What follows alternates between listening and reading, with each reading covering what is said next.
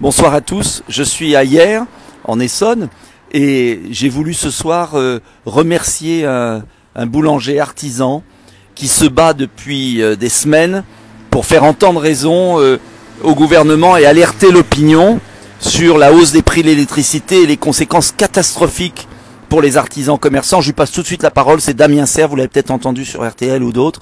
Il fait l'honneur de notre ville de hier parce que eh ben, il se bat pour tout le monde. Voilà, je lui passe la parole tout de suite. Alors, euh, d'abord, la raison de votre combat concrètement euh, La hausse d'électricité, la hausse des prix, la hausse des matières premières, la hausse des charges, tout.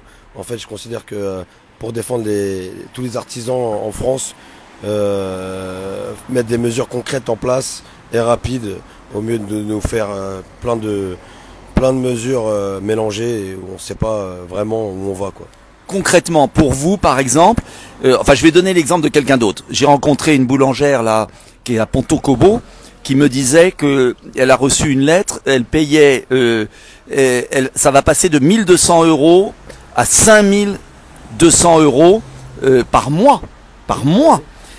Cinq fois et en plus aucune explication rationnelle. Vous Damien vous avez des, des remontées de toute la France j'ai eu appris qu'en Belgique, il y a un quart des boulangeries qui ont. Un quart. Euh, on en est où euh, Pour vous, l'augmentation moyenne, c'est quoi? Multiplié par 2, par 3, par 4, par 5 alors euh, pour pour ma part, on est x2 déjà. Après, on va dire que les autres artisans, tous les dossiers qu'on reçoit, ils sont minimum entre x4 et x8 euh, j'ai un cas concret, euh, un ami, un collègue à moi de notre collectif, il s'appelle William. Pareil, il est passé de 1200 en septembre à 7500 en octobre, ce qui est horrible vraiment. Et, et encore, on a, on a des exemples, mais à l'appel, on a des centaines et des centaines de, de factures qui nous arrivent tous les jours et c'est horrible. Et ça veut dire la faillite parce que, parce que, bien sûr, vous faites pas, euh, il fait pas euh, 6000 euros de profit par mois. Hein. Non, pas du tout, pas du tout. En fait, euh, le problème c'est que on arrive dans une somme où c'est pas acceptable. On doit représenter 3% du chiffre d'affaires en, termes d'énergie. Sauf que là, avec, euh, en passant de, par exemple, de, de 1000 à 8000, on passe de 12 000 euros à quasiment 80 000 euros à l'année. C'est insupportable et c'est pas possible, c'est pas vivable. On pourra pas tenir longtemps. Alors, face à ça, le problème de fond, c'est que le gouvernement refuse de mettre un bouclier tarifaire pour euh, les petites entreprises. Il dit qu'il y a un bouclier tarifaire pour les moins de 10 salariés, sauf qu'il y a une condition. C'est le fameux compteur à moins de 36. Et vous, vous avez bien sûr pour des fours des compteurs supérieurs. La plupart des boulangers, on va dire 80 à 90% des boulangers ont des compteurs de plus de 36 euh, donc du coup euh, c'est vraiment euh, vraiment euh, voilà c'est pas pour nous. C'est pour les entreprises d'énergivores c'est un cauchemar. Et on n'est pas protégé du tout. On est protégé là on a fait nos calculs on est protégé à peu près à 25% euh, sur un cas à 8000 euros ça fait allez 2000 euros d'aide à peu près. Donc on passe de 1000 quand même à 6000 euros ça reste quand même très élevé. Voilà. Voilà. Et en plus avec une usine à gaz, vous me disiez, incompréhensible, euh, il faut remplir des papiers, on les a pas, etc. Et pourtant, on pourrait résoudre le problème parce que euh, c'est facile de critiquer, c'est plus difficile de faire, mais là il y a une solution qu'a fait l'Espagne, le Portugal, vous le savez tous, j'en parle depuis des mois, c'est qu'ils ont rétabli le prix national de l'électricité sans indexer l'électricité sur le gaz, comme le veut la réglementation européenne. Alors on nous dit mais c'est l'Europe, c'est l'Allemagne qui veut pas, mais l'Espagne et le Portugal sont dans l'Union européenne, ils l'ont fait. Aujourd'hui, ils ont fait baisser le mégawatt. Euh, on est à 500 euros en France, entre 400 et 500 euros, parfois plus. Euh, et euh, en Espagne, bah, ils sont retombés à moins de 200, plutôt 120. Euh, ça veut dire que il faut savoir que les électriciens privés qui vous vendent l'électricité, ils l'achètent à EDF. Devinez quel prix? 42 euros. Donc, vous avez des boîtes privées, fournisseurs d'électricité, qui achètent à EDF 42 euros le, euh, qui achètent 42 euros et qui le revendent aux commerçants, aux artisans, aux PME.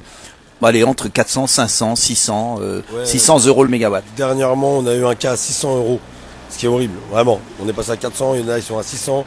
En fait, c'est variable, avec les contrats matina, euh, voilà. avec un peu tout. En fait, on sait même pas. C'est tellement variable et tellement changeant que on ne sait pas où on va, très clairement. C'est abominable. Alors, euh, face à ça, il faut une pression de tout le monde. Allez voir vos commerçants. Il n'y a pas que les boulangers, faut être honnête. Hein. Il y a aussi les bouchers. Euh, mais enfin, les fours à pain, euh, ça produit, ça consomme de l'électricité, quoi. Il y, voilà. a des bouchers, il y a des bouchers qui consomment énormément aussi, comme dans tout corps de métier. Voilà. Euh, nous, on met en avant les boulangers parce qu'on est boulanger et qu'on sait de quoi on parle concrètement par rapport à. Voilà. Et le but, c'est qu'ils ouvrent les yeux sur les, les, les malaises qu'on rencontre Et moi, comme j'ai dit encore une fois, je suis pas le, le plus à plaindre, loin de là, euh, mais euh, c'est invivable et tellement de cas énormes partout en France. Là, on le voit aux yeux du, du, grand public en fait, mais c'est horrible et en fait tout le monde s'inquiète, tout le monde est dans l'inquiétude, tout le monde part en dépression, les gens ferment, c'est atroce. Et vous m'avez cité une personne de 50 ans qui est obligée de vendre sa maison, fermer sa boulangerie, vendre sa maison, se retrouver à la rue carrément. Exactement, j'ai reçu un, des, des, des, messages en fait de, de couples qui sont installés dans le sud de la France qui euh, au début du mouvement nous dit on va vous suivre et nous suivent toujours depuis le début et euh, qui nous disent nous c'est foutu pour nous. On arrive on a 50 ans euh, la boutique est en train de couler on pourra plus rien faire de toute manière. On est obligé de vendre notre maison. Ça veut dire un travail un travail un travail pendant des années toute une vie pour au final arriver une main devant une main derrière et partir sans rien et même avec des dettes, c'est horrible. Et tout ça pendant qu'il y a des entreprises qui s'engraissent, spéculatives, qui font de la spéculation sur le prix de l'électricité avec la complicité de Bruno Le Maire, euh, de la Commission européenne, des Allemands. C'est insupportable ce qui se passe. On a, on a été toute la semaine en débat à l'Assemblée nationale sur ces prix d'électricité, la création des... C'est à vomir, c'est à vomir. Euh, jamais on a vu autant d'injustice dans notre pays, c'est à vomir. Voilà. Euh, merci d'avoir témoigné.